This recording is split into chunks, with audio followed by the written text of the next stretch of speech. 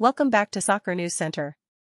Today, we're diving into the world of Arsenal and discussing what sets their manager, Mikel Arteta, apart from the rest.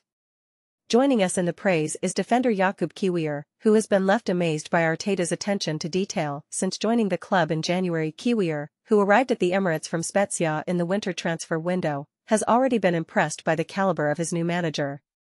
In an interview with Sky Sports, he spoke highly of Arteta's relationship with the players, his cooperation, and his tactics. Kiwior even mentioned that there is nothing negative to say about Arteta, which speaks volumes. But what really stands out for Kiwior is Arteta's meticulous approach and attention to detail.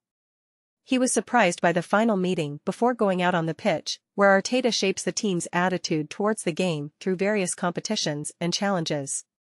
This level of preparation is something Kiwior had never experienced before, and he finds it fascinating.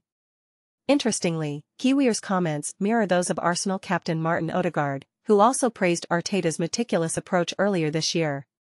Odegaard mentioned how detail-oriented Arteta and the entire team are, and how they analyze every little aspect of the game through video sessions.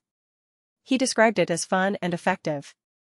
It's clear that Arteta's attention to detail and his ability to convey his ideas to the players have made a significant impact on the team. Both Kiwior and Odegaard appreciate the level of preparation and analysis that Arteta brings to the table. It's no wonder that Arsenal is starting to see positive results under his leadership. So, do you think Arsenal will win the league with Arteta at the helm? Let us know in the comments below.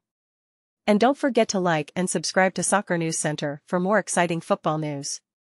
Thanks for watching, and we'll see you next time.